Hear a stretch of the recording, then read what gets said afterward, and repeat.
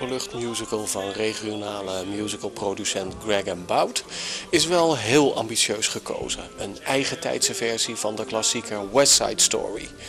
Met in de hoofdrol twee alternerende Tonys van heel verschillende aard. De een een gepokte en gemazelde musicalveteraan, de ander een debuterende golfclub-eigenaar.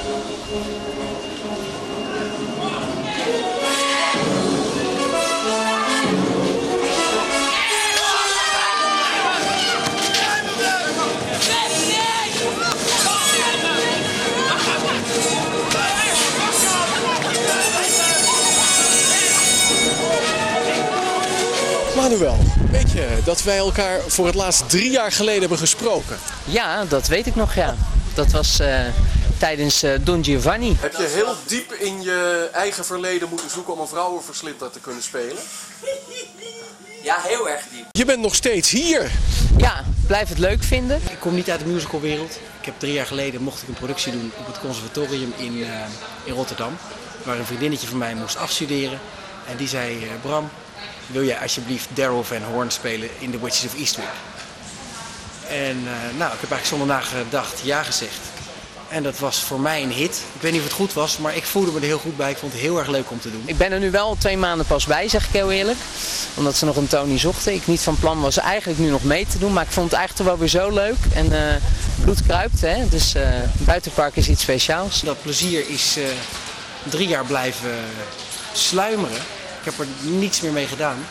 Totdat ik uh, ergens op internet uh, een oproep van Greg Bout zag. We hebben nog spelers, hoofdrolspelers nodig in de West Side Story. En toen besloot ik de stoute schoenen aan te trekken en auditie te gaan doen. En uiteindelijk uh, mag ik deelnemen aan deze productie.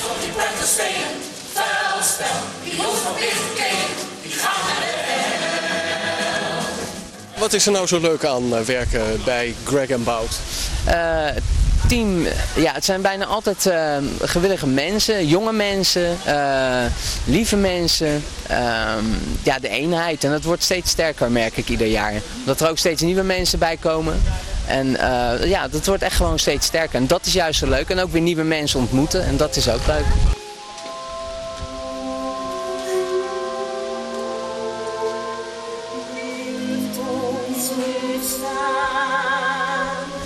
De rol van Tony. Ja. Lijkt me een flinke kluif. Ook al, voor een, ook al ben je een uh, Greg Bout veteraan. Uh, flinke kluif. Nou ja, op, op zich viel het nog wel mee. Maar dan kan ik me voorstellen dat je voor een rol kiest als Riff of zo.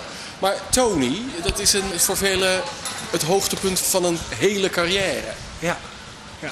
ik hou van vroeg pieken.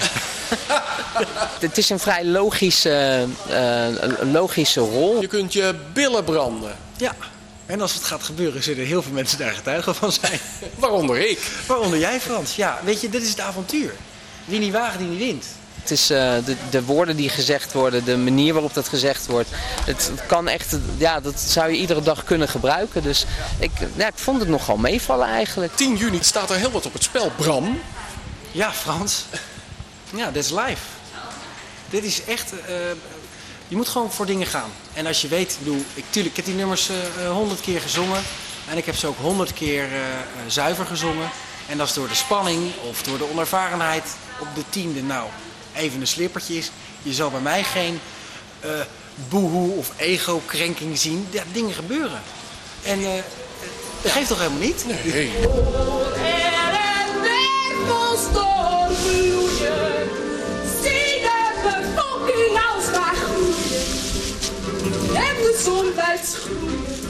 Ik denk even aan Maria, uh, a hell of a job om dat te zingen. Of, of zong jij dat al je leven lang? Nee, dat zong ik niet mijn leven lang. Uh, maar ook dat gaat uh, wel aardig. Ja, dat lukt wel. Er wordt in dat nummer, ik durf het niet exact te zeggen, maar ik geloof een keer of 15 Maria gezegd. Dus, dus een valko is dat dat er altijd hetzelfde uitkomt. Dus daar moet wel een intentie achter. Het zijn veel Mariaatjes achter elkaar, laten we het zo maar zeggen. En ook op verschillende toonhoogtes. Maar op zich gaat het wel, uh, gaat het wel goed volgens mij. Er zit een opbouw in dat, in dat, in dat lied. En dat moet je voelen. Dat, en als je, het, als je het goed weet te voelen, dan komen de Maria's er elke keer op een andere manier uit. Je hebt nog nooit in je leven zoveel Maria's bezongen? Nee, nog nooit. Nee. En uh, na, na die zes keer die ik hem speel, denk ik dat het ook niet meer gaat gebeuren.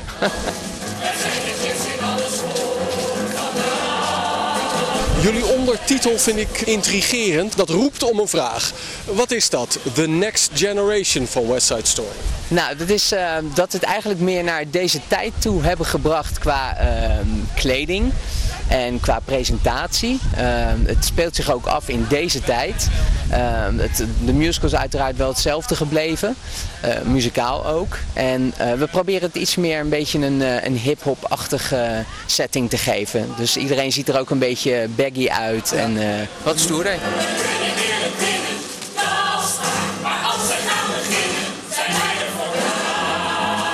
musical diehards zullen zeggen. West Side Story is tijdloos. Ja, Waarom is, transponeren naar deze tijd? is helemaal niet nodig. Nee, maar misschien wilden ze gewoon even wat anders. En ook een keer als Greg en Bout zijnde iets totaal nieuws neerzetten. En ik vind dat het echt gelukt is. Dat het echt nu een keer totaal anders is dan uh, wat we al gedaan hebben. Het verhaal is natuurlijk eigenlijk gebaseerd op het verhaal van Romeo en Juliet. Dus afgelopen 400 jaar, meen ik, is dat verhaal natuurlijk een hele, heel veel verschillende manieren, uh, op heel veel verschillende wijzen vertolkt. Dus volgens mij vraagt elke generatie om vernieuwing van hetzelfde verhaal. Minder zwaar, niet zo'n beladen stuk. Het is natuurlijk best wel een vrolijk stuk, qua muzikaal gezien dan. West Side Story vrolijk? Nou, muzikaal gezien vind ik het wel een, uh, een vrolijk stuk. Uh, en natuurlijk, de, de dingen die gebeuren zijn niet vrolijk. Maar ik denk toch door de presentatie hoe wij het doen, dat het toch wat... wat minder zwaarder is om naar te kijken.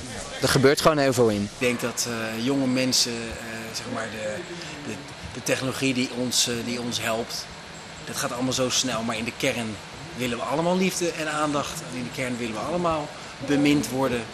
En krijgen we ook wel eens allemaal een steen in ons maag van verliefdheid. Dus die, die gevoelens zijn heel erg één op één te zetten.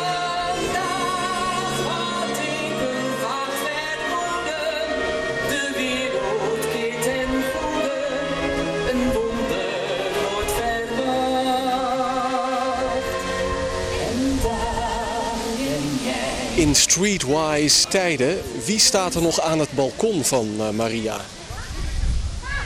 Ja, wie staat er nog aan het balkon? Nou ja, ik waarschijnlijk. Vriendjes ja. van vroeger, waar we mee gingen stappen en uh, bier drinken en zuipen en keten en weet ik het allemaal. Die zijn nu ook inmiddels in die, in die, in die fase van 25 tot 30 allemaal afgekoeld. Tegenwoordig gaat iedereen meteen toch plat op de bek, lees ik. Ja, ja, nou ja dat, dat zou inderdaad kunnen. Gelukkig zijn er ook nog heel veel mensen die dat niet meteen doen. En uh, daar zijn wij uh, uh, bijvoorbeeld de mensen in om dat niet te doen. Ja, wij houden nog van romantiek en... ja. Nou, dat doet me deugd. Ja, hè? goed hè? Die zijn op een of andere manier gepakt door een vrouw of een meisje. En dat gebeurt gewoon. Je laat je wilde haren los. Ja, ja dat ja. lijkt mij van alle tijden, Frans. Dat moet jij weten. We zijn bijna op het punt bereikt dat je meer Frans hebt geroepen dan Maria. Ja.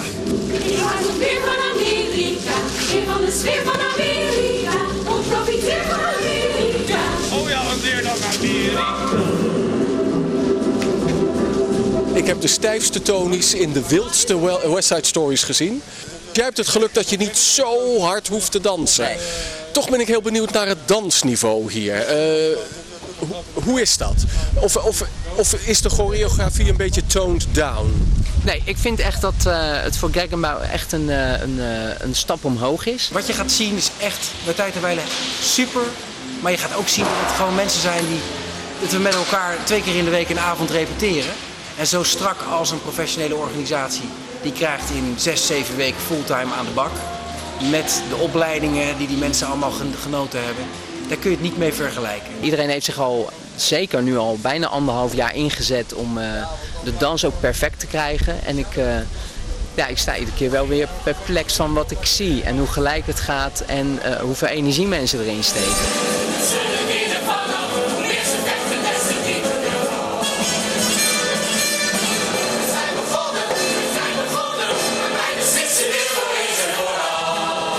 We zijn ons allemaal ervan bewust dat er twee verschillende tonies zijn. De ene dag speel jij, de andere speelt Bram. Ja. Als we een, het geluk hebben dat we een kaartje hebben voor de Manuel voorstelling, wat krijgen we dan? Dan uh, krijgen jullie een, een, een, ja, een emotioneel stuk te zien met, uh, uh, waarin iedereen gewoon samenwerkt met elkaar. Maar waarin ik zeker ga proberen om het om de gevoelens te raken van, eh, van het publiek. Stel je voor als ik het geluk heb dat ik een Bram Kloos kaartje heb gekocht. Wat ga ik dan zien? Volgens mij een hele spannende Tony.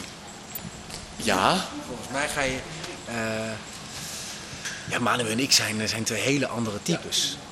En, eh, spannend kan zijn. Hé, hey, wat gaat hij doen? Dat je niet elke keer niet. Ik denk wel een beetje geheimzinnig. Ja. Ik geloof dat je dat gaat zien, Frans. En weet je, ik ga er verder ook geen uitspraak over doen. Je komt maar gewoon lekker kijken. En dan ga, je, dan ga je maar naar beide shows kijken. Dat lijkt me trouwens voor iedereen een goed idee. Kom allemaal naar twee shows kijken. Ja, maar dat kost dan twee keer 4 euro. Ja, nou, dat is echt de wereld, jongens.